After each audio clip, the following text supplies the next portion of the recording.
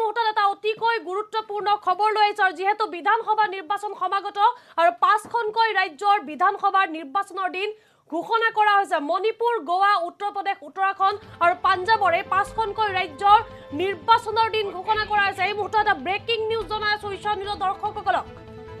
গোৱা মণিপুৰ উত্তৰ প্ৰদেশ উত্তৰাখণ্ড আৰু পাঞ্জাৱৰ নিৰ্বাচনৰ দিন ঘোষণা কৰা হৈছে।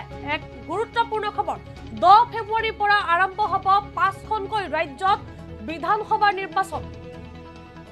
পাঞ্জাৱ গোৱা উত্তৰাখণ্ডত চৈধ্য ফেব্ৰুৱাৰীত প্ৰথম পৰ্যায়ৰ নিৰ্বাচন অনুষ্ঠিত হ'ব। মণিপুৰত সাতাইছ ফেব্ৰুৱাৰীত অনুষ্ঠিত হ'ব বিধানসভাৰ নিৰ্বাচন। উত্তৰ প্ৰদেশত সাতটা পৰ্যায়ত অনুষ্ঠিত হ'ব নিৰ্বাচন প্ৰক্ৰিয়া। সাতটাকৈ পৰ্যায়ত অনুষ্ঠিত কৰা হ'ব উত্তৰ প্ৰদেশত। দহ ফেব্ৰুৱাৰীত উত্তৰ প্ৰদেশত প্ৰথম পৰ্যায়ৰ বিধানসভা নিৰ্বাচন অনুষ্ঠিত কৰা হ'ব। চৈধ্য ফেব্ৰুৱাৰী উত্তৰ প্ৰদেশত দ্বিতীয় পৰ্যায়ৰ নিৰ্বাচন হ'ব। বিশ ফেব্ৰুৱাৰীত তৃতীয় পৰ্যায়ৰ নিৰ্বাচন হ'ব উত্তৰ প্ৰদেশত আৰু আনহাতে চতুৰ্থ চতুৰ্থ পৰ্যায়ৰ নিৰ্বাচন হ'ব উত্তৰ প্ৰদেশত তেইছ ফেব্ৰুৱাৰীত। আৰু পঞ্চম পৰ্যায়ৰ নিৰ্বাচন হ'ব বিধানসভা নিৰ্বাচন উত্তৰ প্ৰদেশত অনুষ্ঠিত হ'ব সাতাইছ ফেব্ৰুৱাৰীত। তিনি মাৰ্চত উত্তৰ প্ৰদেশত পঞ্চম পৰ্যায়ৰ বিধানসভা নিৰ্বাচন হ'ব। সাত মাৰ্চত উত্তৰ প্ৰদেশত পঞ্চম পৰ্যায়ত যিহেতু বহুকেইটা খণ্ডত বা সাতটাকৈ পৰ্যায়ত নিৰ্বাচন অনুষ্ঠিত কৰা হ'ব আৰু সেইসমূহৰ দিন ঘোষণা কৰা হৈছে। কোনটো দিনত ক'ত নিৰ্বাচন অনুষ্ঠিত কৰা হ'ব আৰু দহ মাৰ্চত পাঁচখনকৈ ৰাজ্যৰ বিধানসভা নিৰ্বাচনৰ ভোট গণনা হ'ব ফলাফল ঘোষণা কৰা হ'ব। সৰ্বমুঠ ছশ নব্বৈখন আসনৰ বাবে নিৰ্বাচন অনুষ্ঠিত হ'ব।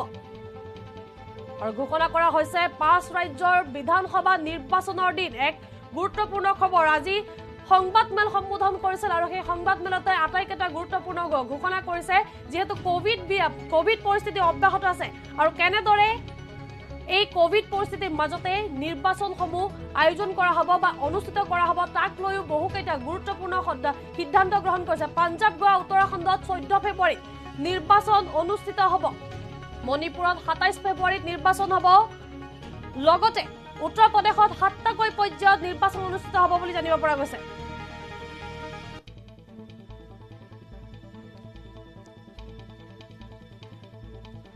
দহ ফেব্ৰুৱাৰী উত্তৰ প্ৰদেশত প্ৰথম পৰ্যায়ৰ নিৰ্বাচন অনুষ্ঠিত হ'ব। এক অতিকৈ গুৰুত্বপূৰ্ণ খবৰ যিহেতু বিধানসভা নিৰ্বাচন হ'ব বুলি ইতিমধ্যে ঘোষণা কৰা হৈছে আৰু পাঁচখনকৈ ৰাজ্যৰ শেহতীয়াকৈ পাঁচখনকৈ ৰাজ্যৰ আজি পাঁচখনকৈ ৰাজ্যৰ গোৱা মণিপুৰ উত্তৰ প্ৰদেশ উত্তৰাখণ্ড আৰু পাঞ্জাৱৰ নিৰ্বাচনৰ দিন ঘোষণা কৰা হৈছে। উত্তৰ প্ৰদেশত তিনি চাৰিশ তিনিখন আসনৰ বাবে নিৰ্বাচন হ'ব। গোৱাত চল্লিছখন আসন মণিপুৰত ষাঠিখন পাঞ্জাৱত এশ সোতৰখন উত্তৰাখণ্ডত সত্তৰখন আসনৰ বাবে সত্তৰখন আসনৰ বাবে নিৰ্বাচন হ'ব। সৰ্বমুঠ ভোটাৰ আছে ওঠৰ দশমিক তিনি চাৰি কোটি। সৰ্বমুঠ ভোটাৰ হৈছে দুই লাখ পোন্ধৰ হাজাৰ তিনিশ আঠষষ্ঠিগৰাকীকৈ পলিং ষ্টেচন আছে যিহেতু সৰ্বমুঠ ভোটাৰ আছে। কৰোণাৰ বাবে ষোল্ল শতাংশ ভোট কেন্দ্ৰ বৃদ্ধি কৰা হৈছে। এটা পলিং ষ্টেচনত এহেজাৰতকৈ কম ভোটাৰৰ ব্যৱস্থা গ্ৰহণ কৰা হৈছে। প্ৰাৰ্থীসকলে সুবিধা এপেৰে পঞ্জীয়ন কৰিব পাৰিব নিজৰ নাম পাঁচ ৰাজ্যত নিৰ্বাচনী আচৰণ বিধি জাৰি কৰা হৈছে। উত্তৰ প্ৰদেশত তৎকালীন নিৰ্বাচনী আচৰণ বিধি জাৰি কৰা হৈছে। পোন্ধৰ জানুৱাৰীলৈকে কোনোৱে অনুষ্ঠিত কৰিব নোৱাৰিব। কোনো ধৰণৰ যি নিৰ্বাচনী ৰোড শ্ব' আছে সেই ৰোড শ্ব'ত নিষেধাজ্ঞা জাৰি কৰা হৈছে আৰু সম্পূৰ্ণ কভিড প্ৰট'কল মানি অনুষ্ঠিত হ'ব। এইবাৰৰ নিৰ্বাচন সকলো কৰ্মচাৰী দুটাকৈ ভেকচিনেশ্যন যি আছে সেই ভেকচিনেশ্যন বাধ্যতামূলক কৰা হৈছে। সকলো পলিং ষ্টেচনত চেনিটাইজাৰৰ ব্যৱস্থা থাকিব আৰু যিসকল আশীৰ ঊৰ্ধৰ বা কভিড পজিটিভ যিসকল লোক আছে তেওঁলোকৰ বাবে পোষ্টেল ভোটিঙৰ ব্যৱস্থা গ্ৰহণ কৰা হৈছে। এক গুৰুত্বপূৰ্ণ এই মুহূৰ্তত জনাই আছো যিহেতু পাঁচখনকৈ ৰাজ্যৰ মণিপুৰ গোৱা উত্তৰাখণ্ড উত্তৰ প্ৰদেশ আৰু পাঞ্জাৱ এই পাঁচখনকৈ ৰাজ্যৰ আজিৰ দিনটোত নিৰ্বাচনী বা নিৰ্বাচনৰ দিন ঘোষণা কৰা হৈছে।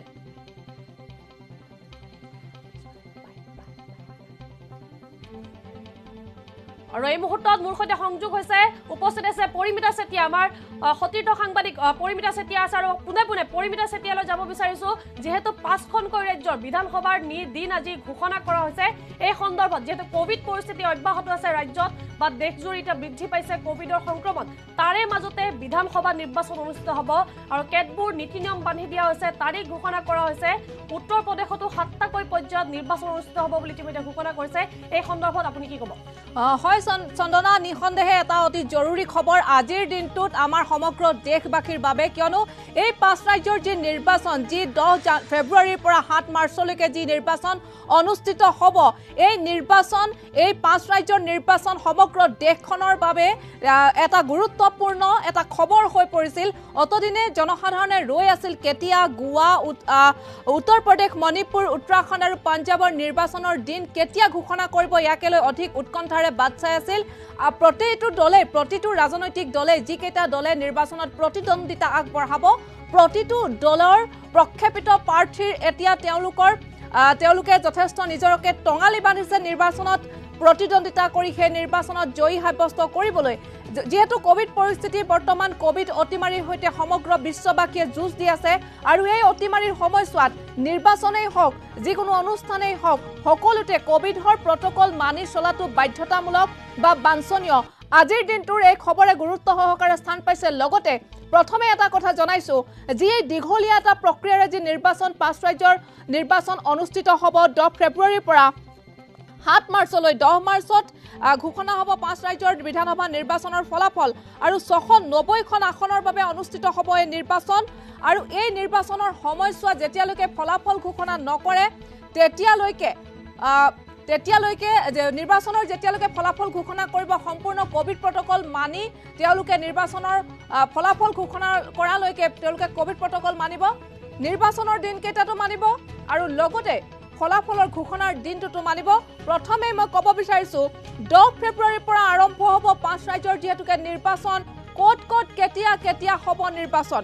পাঞ্জাৱ গোৱা উত্তৰাখণ্ডত চৈধ্য ফেব্ৰুৱাৰীত হ'ব মণিপুৰত সাতাইছ ফেব্ৰুৱাৰীত উত্তৰ প্ৰদেশত সাতটাকৈ পৰ্যায়ত অনুষ্ঠিত হ'ব নিৰ্বাচন।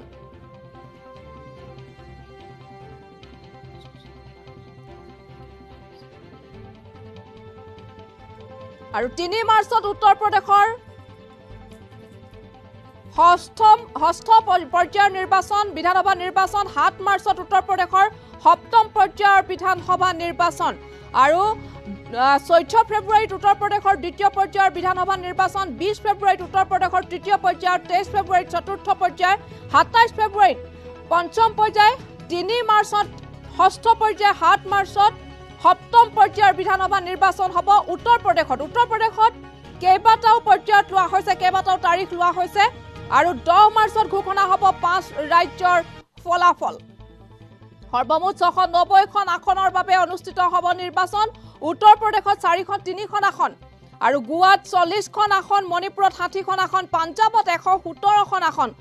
সৰ্বাধিক আছে চাৰিশ তিনিখন আসনেৰে উত্তৰ প্ৰদেশত আৰু উত্তৰাখণ্ডত সত্তৰখন আসন। সৰ্বমুঠ ভোটাৰ আছে ওঠৰ দশমিক তিনি চাৰি কোটি আৰু সৰ্বমুঠ দুই লাখ পোন্ধৰ হাজাৰ তিনিশ আঠষষ্ঠিটা পলিং ষ্টেচন আছে বুলি জানিব পৰা গৈছে। কৰোণাৰ বাবে কিছু পৰিমাণে ভোট কেন্দ্ৰ বৃদ্ধি কৰা হৈছে আৰু কভিড প্ৰট'কলৰ মাজেৰে অনুষ্ঠিত হ'ব ভোট গ্ৰহণ এই মুহূৰ্তত আমাৰ হাতত যদিহে আহি পৰিছে নিৰ্বাচনী আয়োগে খন্তেক সময়ৰ পূৰ্বে সম্বোধন কৰা সংবাদমেলৰ মন্তব্য এই মুহূৰ্তত আমি যদিহে আগবঢ়াব পাৰোঁ সেই মন্তব্য এই মন্তব্যটো প্ৰথমে এবাৰ আগবঢ়াম for this you are waiting. That will not be complete without you know starting this thing. And the first date of the issue of notification will be 14th January 2022, and which will start from Uttar Pradesh.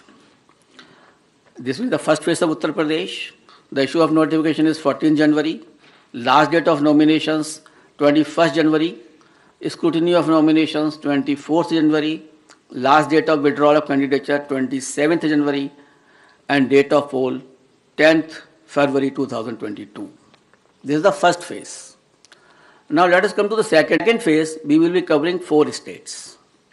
Uttar Pradesh second phase, Punjab in one phase, Uttarakhand in one phase, Goa in one phase. So Uttar Pradesh, Punjab, Uttarakhand and Goa. In second phase, Punjab, Uttarakhand, Goa will be over. And here the issue of notification will be 21st January. Last date of nominations 28th January. Scrutiny of nominations 29th January. And last date of withdrawal of candidature 31st January. And date of poll 14th February, that is Monday. Third phase, only Uttar Pradesh. That is issue of notification 25th January. Last date of nominations 1st February. Scrutiny of nominations 2nd February.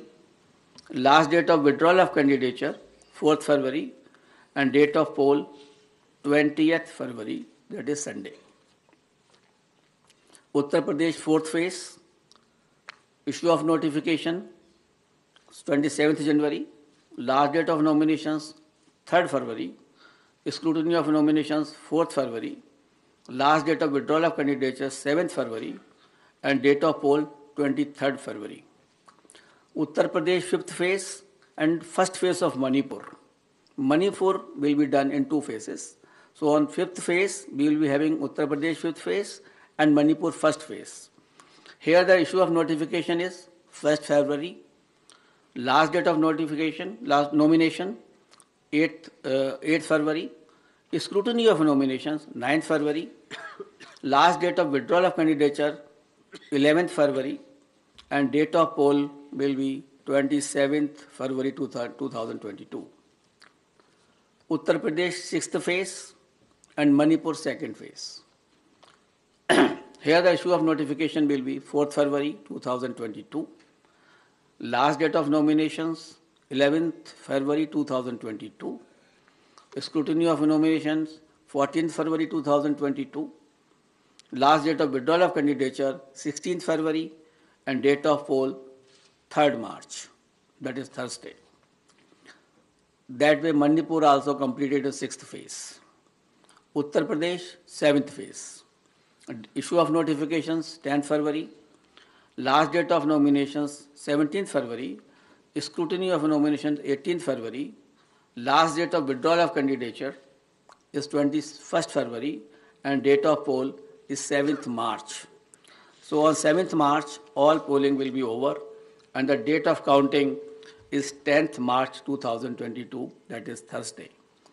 Last year, last time, 2017, the election was announced on 4th of January and uh, the counting was on 11th and we, here we are announcing on 8th. So we are squeezing the time as also and the faces also. And uh, that particular schedule will also be given to you and how the faces of uh, UP have been put in seven phases will also be provided to you by the media cell here. And we have ensured that in all seven phases of UP, there should be equitable to be distribution of the assemblies and uh, that particular map will be given to you by the our uh, media cell. Now we call upon all voters in these five states to come out and vote as enthusiastically as they have always done in the past, especially the senior citizens, persons with disability, and women. Your presence at the polling stations, despite many odds and personal circumstances, is nothing short of being truly inspirational. Our fervent appeal to all stakeholders to maintain COVID appropriate behavior at all times. I'm really thankful to my voters who have casted their vote in the earlier elections in the during pandemic also and in basically in Bihar, in Assam, in Tamil Nadu, in West Bengal, and in many places, Puducherry, Kerala, in many places, the, the voter turnout of female was much more than the man. And I'm so grateful to all of them that in spite of their in public, uh, the, the personal inconveniences, they have come and cast their vote. That is the spirit of the voter. That we want that should remain always in their mind. And this is a festival of democracy. They should come out, as I have already enumerated in my earlier paras, that the voters' uh, safety is there, the polling booth is safe, and the polling officials are safe. Therefore, I request to all the voters to come forward and cast their votes. Similarly, I will request to all political parties and entities to mentor their party workers to adhere to COVID safety guidelines, especially during the period of campaign. Let us all remember that the safety of each one of us is our collective responsibility. It is our collective responsibility, and together we can make this happen. Wishing you all the best. Thank you very much. We'll take the questions. I'll repeat. Please uh, begin with the name of uh, your own name and your media organization name. We'll begin here. I'll come back to you, please. अपना नाम और media का organisation नाम ब- भी बताएं sir नमस् अ, hello sir नमस्कार अ, मोहित दुबे न्यूज नेशन से सर अ, मैं हूँ सर इतिहास में ऐसा पहली बार हुआ है जब से हिंदुस्तान में लोग আৰু এয়া আছিল আজি যি সংবাদমেল সম্বোধন কৰিছিল নিৰ্বাচনী সচিব আহ, সুশীল চন্দ্ৰাই যি তেওঁ সংবাদমেল সম্বোধন কৰিছিল তাতে বহুকেইটা গুৰুত্বপূৰ্ণ সিদ্ধান্ত গ্ৰহণ কৰা পৰিলক্ষিত হৈছে। যিহেতু কভিড পৰিস্থিতি দেশত ভয়াৱহ ৰূপ ধাৰণ কৰা পৰিলক্ষিত হৈছে পুনৰবাৰৰ বাবে। তাৰে মাজতে পাঁচখনকৈ ৰাজ্যত অনুষ্ঠিত হ'ব বিধানসভাৰ নিৰ্বাচন আৰু ক'ত কেনেদৰে কোনটো তাৰিখত বা কোনটো দিনত বিধানসভা নিৰ্বাচন হ'ব তাক লৈ আজিৰ দিনটোত তাৰিখ ঘোষণা কৰা হৈছে দিন ঘোষণা কৰা হৈছে। আৰু উত্তৰ প্ৰদেশত বিশেষকৈ যিহেতু চাৰিশ তিনিখনকৈ আসনৰ বাবে নিৰ্বাচন অনুষ্ঠিত হ'ব যিহেতু আটাইতকৈ অধিক আসনৰ বাবে উত্তৰ প্ৰদেশত প্ৰতিদ্বন্দ্বিতা আগবঢ়োৱা হ'ব। তাৰ বাবে সাতটাকৈ পৰ্যায়ত উত্তৰ প্ৰদেশত নিৰ্বাচন হ'ব। লগতে অন্য চাৰিখন ৰাজ্য হৈছে গোৱা মণিপুৰ উত্তৰাখণ্ড আৰু পাঞ্জাৱ এই পাঁচখনকৈ ৰাজ্যত যিহেতু উত্তৰ প্ৰদেশত নিৰ্বাচন অনুষ্ঠিত হ'ব। তাৰ লগতে গোৱা মণিপুৰ উত্তৰাখণ্ড আৰু পাঞ্জাৱতো এই চাৰিখনকৈ ৰাজ্যতো অনুষ্ঠিত হ'ব নিৰ্বাচন। আৰু এনেদৰে আহ, এতিয়া সাজু হোৱা পৰিলক্ষিত হৈছে নিৰ্বাচনী আয়োগ সাজু হোৱা পৰিলক্ষিত হৈছে। কেতবোৰ নীতি নিয়ম বান্ধি দিয়াও পৰিলক্ষিত হৈছে বহু ক্ষেত্ৰত। আৰু যিহেতু কৰোণাৰ সময় চলি আছে অতিমাৰী মহামাৰী এতিয়াও চলি আছে আৰু কৰোণাৰ বাবে ষোল্ল শতাংশ যি ভোট কেন্দ্ৰ আছে সেই ভোট কেন্দ্ৰ বৃদ্ধি কৰা হৈছে। আৰু এটা পলিং ষ্টেচনত এহেজাৰতকৈ কম ভোটাৰৰ ব্যৱস্থা কৰা হ'ব।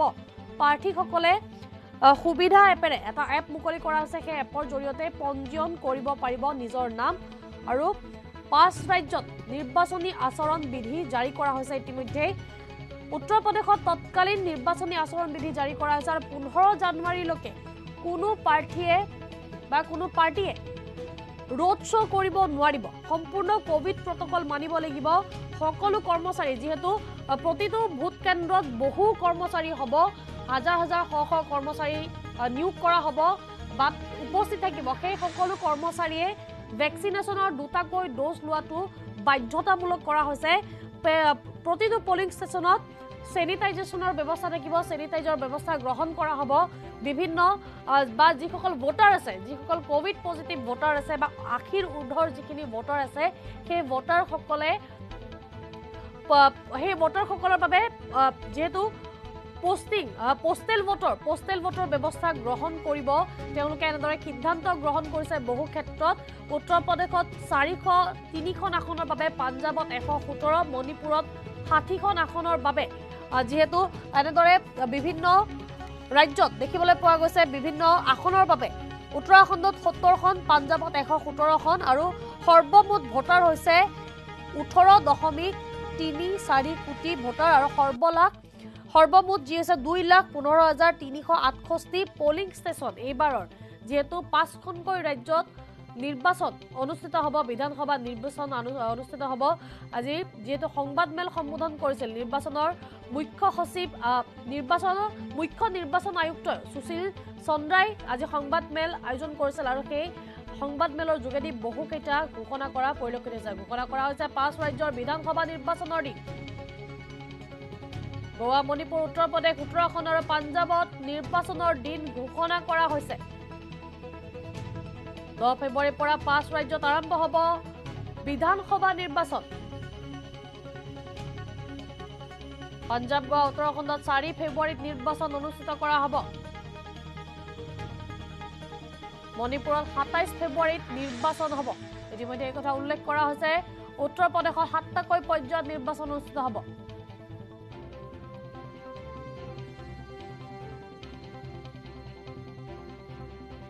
দহ ফেব্ৰুৱাৰী উত্তৰ প্ৰদেশত প্ৰথম পৰ্যায়ৰ নিৰ্বাচন। চৈধ্য ফেব্ৰুৱাৰী উত্তৰ প্ৰদেশত দ্বিতীয় পৰ্যায়ৰ নিৰ্বাচন হ'ব। উত্তৰ প্ৰদেশত সাতটাকৈ পৰ্যায়ত নিৰ্বাচন হ'ব। চাৰিশ তিনিটাকৈ আসনৰ বাবে নিৰ্বাচন অনুষ্ঠিত কৰা হ'ব। আৰু বিছ ফেব্ৰুৱাৰীত তৃতীয় পৰ্যায়ৰ নিৰ্বাচন হ'ব। উত্তৰ প্ৰদেশত তেইছত তেইছ ফেব্ৰুৱাৰীত চতুৰ্থ পৰ্যায়ৰ সাতাইছ ফেব্ৰুৱাৰীত পঞ্চম পৰ্যায়ৰ তিনি পৰ্যায় তিনি মাৰ্চত ষষ্ঠ আৰু সাত মাৰ্চত সপ্তম পৰ্যায়ৰ নিৰ্বাচন অনুষ্ঠিত হ'ব।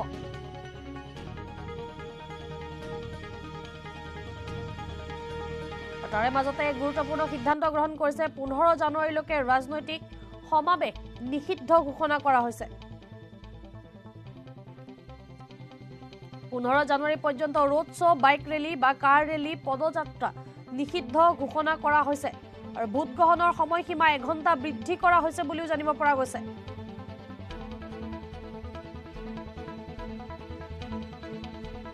মণিপুৰত দুটাকৈ পৰ্যায়ত নিৰ্বাচন অনুষ্ঠিত কৰা হ'ব বুলি জানিব পৰা গৈছে। দুটাকৈ পৰ্যায়ত ভোটগ্ৰহণ হ'ব।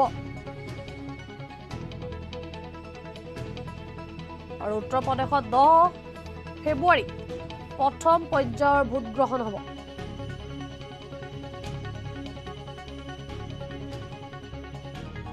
পাঞ্জাৱ গোৱা উত্তৰাখণ্ডত চৈধ্য ফেব্ৰুৱাৰীত নিৰ্বাচন অনুষ্ঠিত কৰা হ'ব।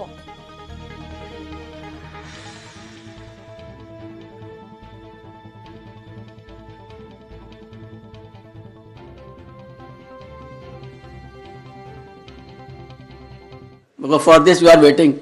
That will not be complete without, you know, starting this thing. And the first date of the issue of notification will be 14th January to 2022 and which will start from Uttar Pradesh. This is the first phase of Uttar Pradesh. The issue of notification is 14 January. Last date of nominations 21st January.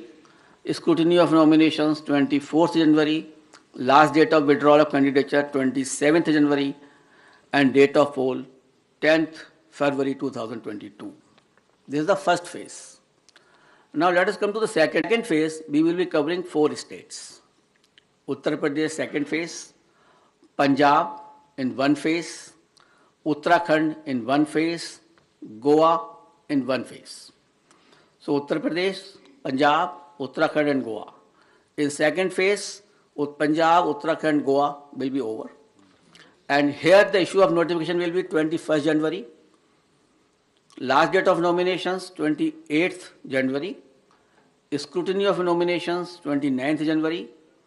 And last date of withdrawal of candidature 31st January. And date of poll 14th February, that is Monday. Third phase, only Uttar Pradesh. That is issue of notification 25th January. Last date of nominations 1st February. Scrutiny of nominations 2nd February. Last date of withdrawal of candidature 4th February.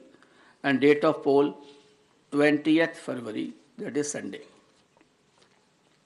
Uttar Pradesh fourth phase, issue of notification 27th January, last date of nominations 3rd February, scrutiny of nominations 4th February, last date of withdrawal of candidature 7th February, and date of poll 23rd February.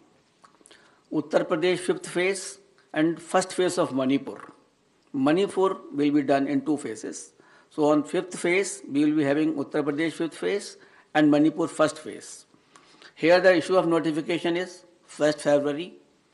Last date of notification, last nomination, 8th, uh, 8th February. Scrutiny of nominations, 9th February.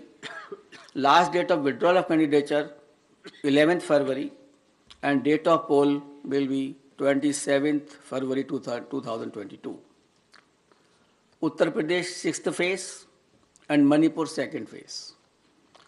Here the issue of notification will be 4th February 2022. Last date of nominations 11th February 2022. Scrutiny of nominations 14th February 2022. Last date of withdrawal of candidature 16th February and date of poll 3rd March. That is Thursday. That way, Manipur also completed the sixth phase. Uttar Pradesh, seventh phase. Issue of notifications 10th February. Last date of nominations 17th February. Scrutiny of nominations 18th February. Last date of withdrawal of candidature is 21st February and date of poll is 7th March. So on 7th March, all polling will be over and the date of counting is 10th March 2022, that is Thursday. Last year, last time, 2017, the election was announced on 4th of January and uh, the counting was on 11th and here we, here we are announcing on 8th. So we are squeezing the time as also and the faces also. And uh, that particular schedule will also be given to you and how the faces of uh, UP have been put in seven phases will also be provided to you by the media cell here. And we have ensured that in all seven phases of UP, there should be equitable to be distribution of the assemblies, and uh, that particular map will be given to you by the our uh, media cell. Now we call upon all voters in these five states to come out and vote as enthusiastically as they have always done in the past, especially the senior citizens, persons with disability, and women. Your presence at the polling stations, despite many odds and personal circumstances, is nothing short of being truly inspirational. Our fervent appeal to all stakeholders to maintain COVID appropriate behavior at all times. I'm really thankful to my voters who have casted their vote in the earlier elections, in the during pandemic also, and in basically in Bihar, in Assam, in Tamil Nadu, in West Bengal, and in many places, Puducherry, Kerala, in many places, the, the voter turnout of female was much more than the men.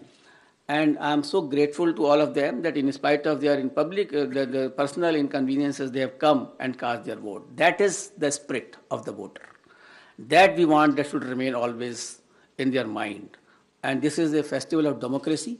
They should come out, as I have already enumerated in my earlier paras, that the voters' uh, safety is there, the polling booth is safe, and the polling officials are safe.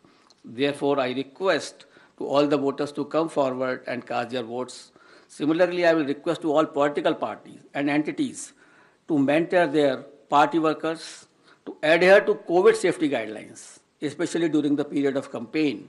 Let us all remember that the safety of each one of us is our collective responsibility. It is our collective responsibility, and together we can make this happen. Wishing you all the best. Thank you very much. We'll take the questions. I'll repeat. Please begin